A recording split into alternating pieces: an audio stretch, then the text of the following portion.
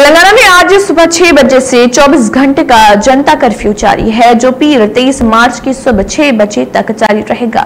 اس دوران حیدرآباد کے پرانے شہر بالخصوص چار مینار گلزار ہاؤس، مدینہ پتھر گٹی، تمام دکانات آرٹی سے بس آٹوز ٹیکسی، مالز سب بند ہیں۔ خاص طور پر ان علاقوں میں چھوٹے کاروبار کرنے والے سینکڑوں افراد فٹ پاتھ اور ٹھیلا بنڈیوں پر دیکھے جاتے ہیں، لیکن کرفیو کے پیش نظر یہ تمام افراد بھی اپنے کاروبار کو بند کر دیے ہیں۔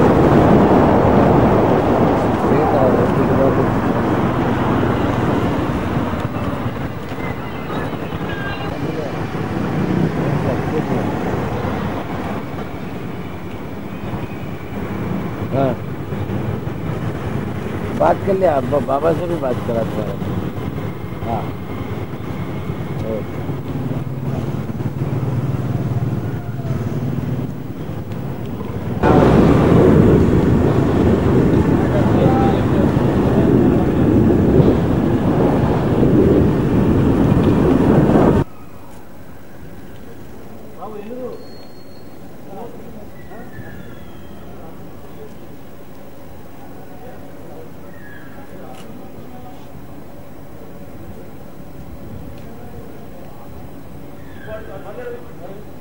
Ghiền Mì Gõ Để không bỏ lỡ những video hấp dẫn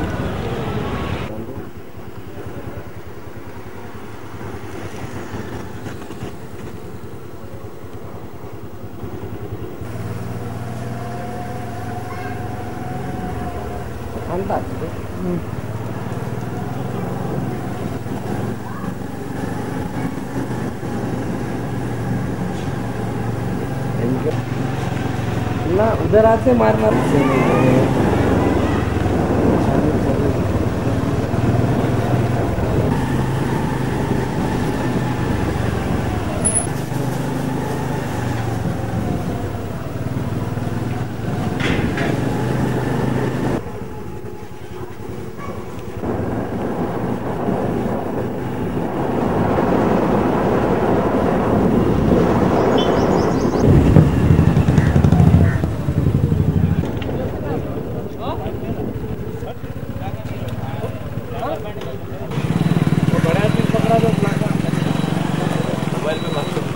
ادھر بڑے بڑے بھائی ادھر کام آئے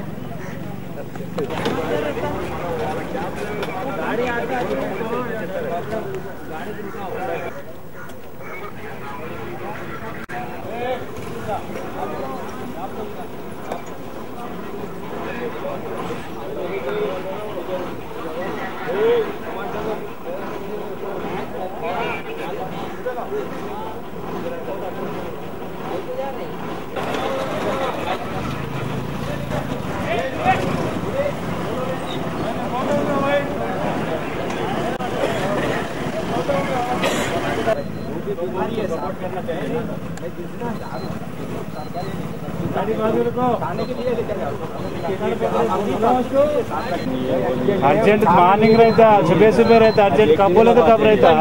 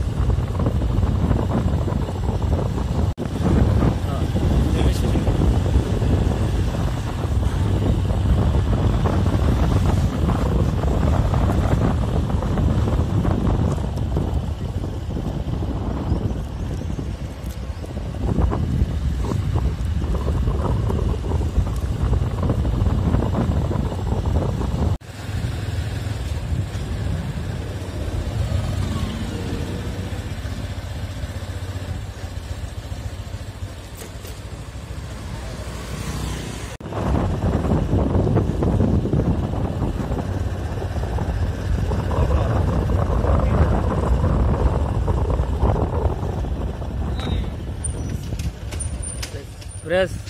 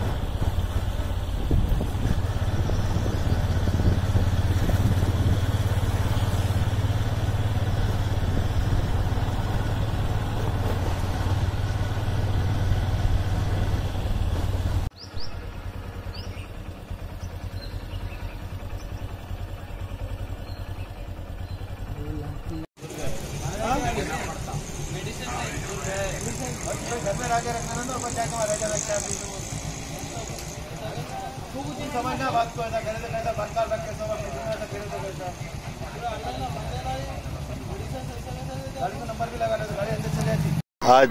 جنتا کرفیو کے وجہ سے عوام پوری لوگ اس کا سہیوگ کرتے ہوئے جو ایک جو کورونا وائرس کے خلاف میں جو جنتا کا آواز ہے، وہ آج دکھی ہے۔ اور ایسی رہنے سے، اپنے انڈیا میں سے کورونا وائرس کو بھی بگانے کا جلدی جی جلدی اپن سہیوگ کر سکتے ہیں۔ اور سبھی لوگوں کا میں ادے پور سے دھنیواد کرتا ہوں تاکہ یہ کورونا وائرس ایکو ایکو لگ کر یہ اپنی جان کی لینے کا جو کوشش کرتی ہے، اس واسطے آج جو لوگ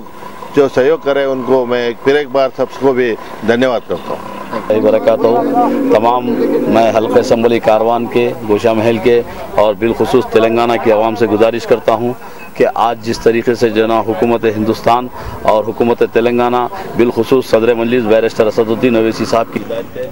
طریقے سے ہمارے حیدرآباد کے اندر یہ جو بیماری کا جو اویرنیس لایا گیا ہے، عوام میں جو اویرنیس لایا جا رہا ہے، یہ ایک بہترین اویرنیس ہے۔ اس سے انشاءاللہ تعالی یہ تمام آفتوں اور بلیات سے ہم محفوظ رہنے کے، کیونکہ صدر مجلس کا حکم ہے اور بیرسٹر صدر الدین اویسی صاحب کی ہدایت پر تمام ترین لوگ جس طریقے سے مساجد کے اندر ہو یا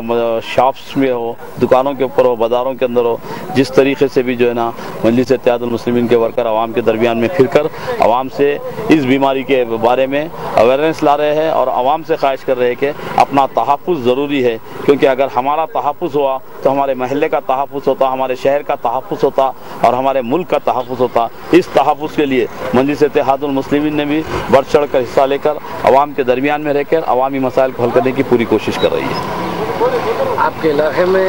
بلدیا کے جی ایچ ایم سی کے لوگ کوئی دوا ہوا مارے یا مارنے کا پلاننگ ہے؟ جی جی جی منجلس اتحاد المسلمین کے رکن اسمبلی علی جناب کوثر محین الدین صاحب کی ہدایت کے اوپر یہاں پہ جو ہے نا دوا کا انتظام کیا گیا ہے اور بہت سے قبرستانوں کے اندر چھڑکاؤ کیا جا رہا ہے مسجد تو مسجدوں میں چھڑکاؤ کیا جا رہا ہے منادروں کے آزو بازو چھڑکاؤ کیا جا رہا ہے بستیوں میں بھی چھڑکاؤ کا کام جاری ہے اور کچھ بلدیہ کے عہدیدار بھی جو ہے نا اس کو جو ہے نا راست اپنی نگرانی میں دیکھ کے کام کرا رہے ہیں۔ اور اس کے ساتھ پولیس کے عہدیدار بھی ہے آپ ایک مسجد کے صدر بھی ہے جی۔ مجلس کے ورکر بھی ہے آج جگنے کی رات ہے۔ کب معراج اس کے کچھ مسجد میں آپ کے کوئی اسپیشل انتظامات کیے گئے۔ اسپیشل انتظامات علماء اکرام کا جو اعلان ہے۔ اور موجود صدر محترم نقیب ملت الحاج بیرسٹر صدر الدین نویسی صاحب کی جو ہدایت ہے کہ ہم جو ہے نا اپنی مساجد کے اندر فرض نماز ادا کریں اور سنتیں جو ہے نا اپنے مکانوں پہ ادا کریں۔ اسی لیے صدر مجلس کی ہدایت پر اور علماء حق کی ہدایت پر جو ہے نا ہم اپنی مسجد کے اندر کوئی ایسا خاص انتظامات نہیں ہیں صرف نماز کا انتظام ہے اور انشاءاللہ نماز کے انتظام کے بعد کوئی ایسا جلسہ محفل وغیرہ نہیں ہے۔ صفائیت کا تو پورا معقول انتظام ہے۔ بالخصوص آپ خود جا کر دیکھ سکتے ہیں کہ اگر آپ چلتے ہیں تو بتاتا ہوں کہ بلدیا کے عہدیدار اور مجلس کی ہدایت کے اوپر کس طریقے سے کام کر رہے ہیں۔